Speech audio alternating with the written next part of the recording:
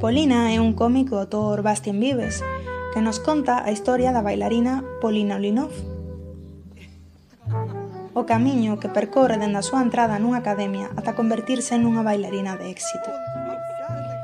A dureza física e emocional no mundo do baile e dos seus protagonistas vese neste debuxo sobrio, sinxelo e ás veces inacabado, pero moi expresivo.